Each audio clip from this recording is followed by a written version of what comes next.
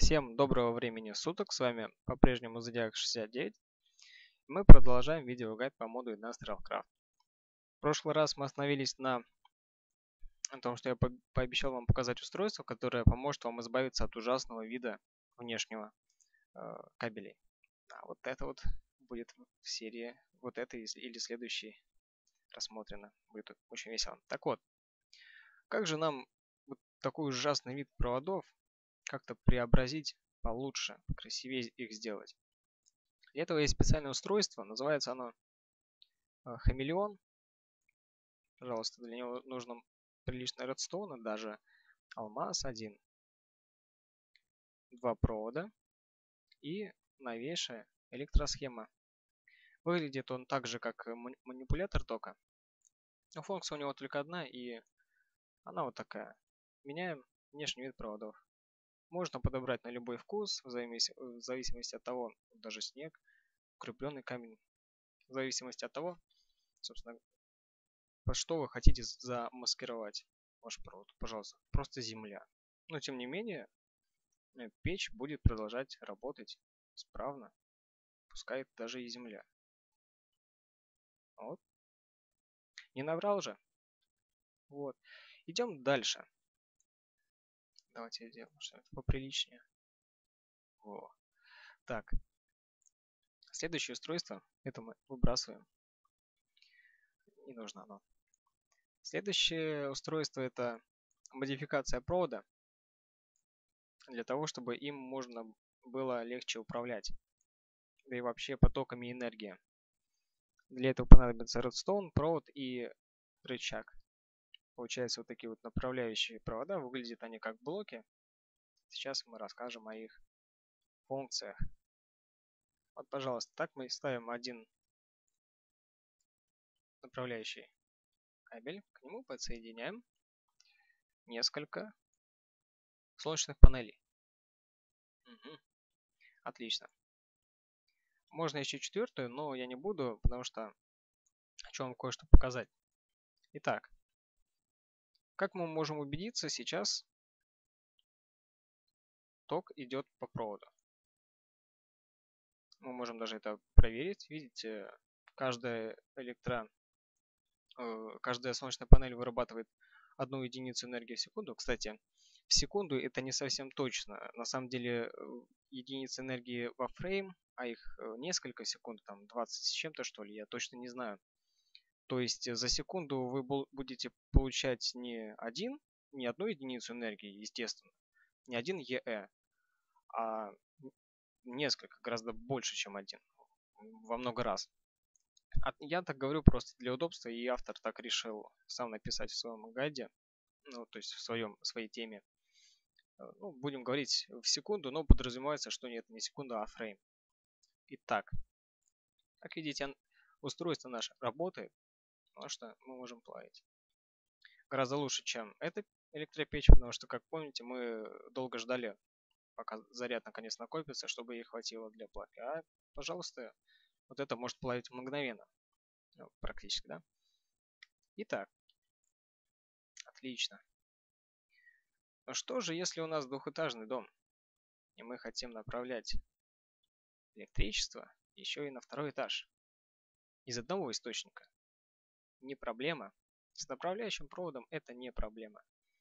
Дело в том, что когда э, к направляющему проводу ничего не подключено, э, ни цепи редстоуна, ни рычагов, кнопок и так далее. И выходом, э, входом являются его боковые стороны, то есть подавать напряжение к нему следует с этих сторон. А выходом является нижняя сторона. Поэтому именно снизу будет происходить крафт. Но если у вас есть второй этаж, и вы поставили рычаг на направляющий провод, пожалуйста, оп. Сейчас вы увидите, что произойдет. Все, нету напряжения. А здесь оно есть. Пожалуйста, вы можете переключать вниз, вверх, вниз, вверх. Вот сейчас наверху. Отключаем пожалуйста, остановилась, а здесь начался кран. Очень удобно, я думаю, вы применение этому найдете Очень много. Также, кстати, я тогда был с расстроенным э, этим. Так, ладно. Э, пойдем дальше. Э, с направляющим проводом разобрались, в принципе. Очень удобная вещь. Э, далее следует лампочка. Да, вы не ослышались. Самые настоящие лампочки, которые можно сделать в этом моде. Они будут светить. У меня я пробовал их сделать, конечно, у меня света от них особо много не было. Но, тем не менее, что-то да получилось. Нам нужно стекло, редстоун и провода для того, чтобы сделать лампочки. Пожалуйста, получается такие вот светлые блоки, которые светят. Ну, тут у нас стоит блок генератора, в котором я зажигаю топливо, он работает и вырабатывает побольше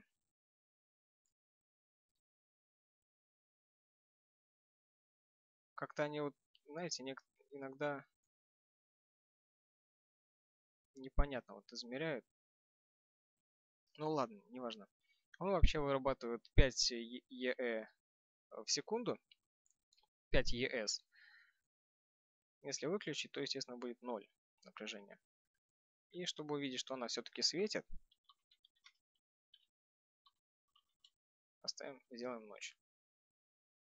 Вот сейчас напряжение есть, и она на самом деле светит. Это незаметно. Свечение очень слабое. Мы выключаем, и свечение пропадает. Заметили? Нет? Хотя еще раз. Есть свечение. Слабое-слабое. Оп, пропало. Да, еле-еле светится, не знаю почему так. Пробовал даже подводить к ней напряжение от шести таких генераторов, и она все равно светила очень слабо. Может быть это уже новый баг версии 6.37, не знаю.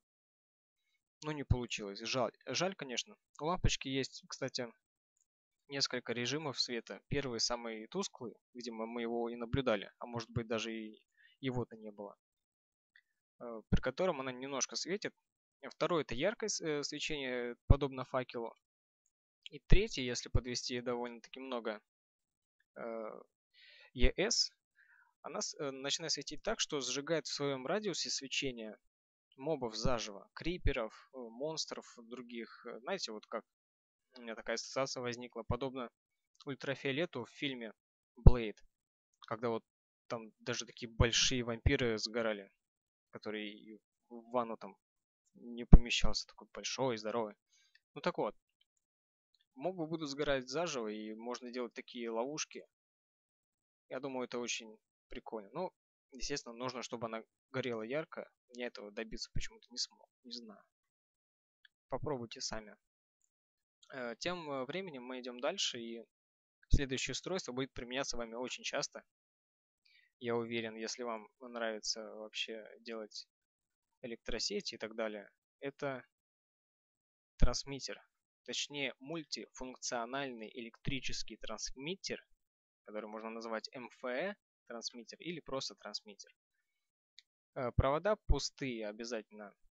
Аккумуляторы, блок, механизм, ну, машинный блок или механизм. Получается два а, трансмиттера. Их э, функция в чем заключается? Они, во-первых, у них есть э, входы, это боковые стороны, и, возможно, верхняя. Но верхняя может быть выходом, входом, я точно там не помню как. И он, э, трансмиттер, накапливает энергию. Вот, пожалуйста, помните нашу, видите, э, нашу мельницу, которая даже и аккумулятор-то зарядить не в силах. Но, тем не менее, по чуть-чуть Э, в трансмиттер энергия накапливается. То есть из трансмиттера, как из аккумулятора, она мгновенно не уходила. Ну и не уходит. Не будет, не будет уходить, естественно. Выход у трансмиттера снизу. То есть э, подключить к нему с боков и пустить провод снизу. Нужно, чтобы запитать какое-нибудь другое устройство. И сейчас мы покажем, как это работает. Вот сейчас крафта нет, на самом деле. Сейчас просто последний заряд энергии израсход... израсходуется и... Что происходит? Вот, все. Так. Пустая электропечь, ничего в ней нет. Та-да! Пожалуйста. Мы не подключали ни, ни генераторов к ней, не клали сюда источники электричества. Тем не менее, она крафтит, забирая энергию. Вот, посмотрите. Видите? Забрала. Для одного крафта ей там требуется, ну, примерно 200 ЕЭ. Вот она забирает. Ну, там 200 по 300. Ну, примерно. Вы можете точнее посмотреть э, в таблице мощностей. Но у трансмиттера есть, э, тем не менее, запас какой-то э, свой энергии. То есть 600, э, извиняюсь, 60 тысяч Е больше он не наберет. Кстати, манипулятором тока можно еще и настраивать выходную мощность трансмиттера. Обычно стандартно у него максимальная выходная мощность 32 ЕЭ в секунду. Можно даже настроить до 50 максимум а дальше она скаканет обратно на единицу. И при единице, как вы, наверное, догадались, крафт уже не будет таким быстрым, не должен быть. Вообще здесь э, не 2, а 1. Просто вот таким образом как-то можно, видимо, расстроить манипулятор тока, и он начинает сбоить. Вот, пожалуйста, теперь уже с такими заминками происходит. Крафт вот видите, набирается, набирается энергия. Ну, как вот 1 Е в секунду, как от солнечной панели. Также. И опять заново. Если увеличить, э, естественно, будет э, вернется мгновенный крафт. Вот, 32. Крафт уже будет мгновенно. Ну, ладно. Посмотрели. Э, если 60 единиц энергии вам недостаточно, и у вас много энергокристаллов, вы можете улучшить. Нет, не таким способом. Ну, нужно новейший, новейший механизм. Вы можете сделать тот же самый, в принципе, MFA трансмиттер, только с запасом энергии, которого хватит на ой как много. К примеру, поставим его здесь. Вот так вот круто он выглядит. И у него запас энергии 3 миллиона ЕЭ. Этого хватит вам надолго. Я вам гарантирую. Еще и заполнить это постараться нужно. Итак. С этим разобрались. Остается только трансформатор высокого напряжения. Замечательная вещь. Просто восхитительная. Если вы, допустим, играть в мультиплеере, у вас несколько домов на большом расстоянии друг от друга, или у вас просто несколько домов на большом расстоянии друг от друга. Но тем не менее, электростанция находится только на одном из них, а электричество нужно провести на большое расстояние. Как вы помните, электричество через э, э на десятом блоке теряет а, а, ну, по проводу, если идет одну ЕС. И дальше каждый третий провод тоже теряет электричество на 1 ЕС. То есть, если вы, допустим, подали напряжение в 10 ЕС, на 10 оно станет 9, на 13 8, на 16 7 и так далее. Скоро уже напряжение полностью пропадет. Но для этого нужен трансформатор высокого напряжения. И судя по времени, я не успеваю про него рассказать. Так что с этого, с очень интересного, как раз таки применим вот эту магистраль. Я расскажу вам про некоторые новые особенности трансформатора, которые появились недавно. Мы начнем уже со следующего видео, которое я прямо сейчас и сниму. Так что скоро я его добавлю. Если это видео уже добавлено, а следующее нет, то считайте, что где-то через полчаса-час оно уже будет добавлено. А, до новых встреч!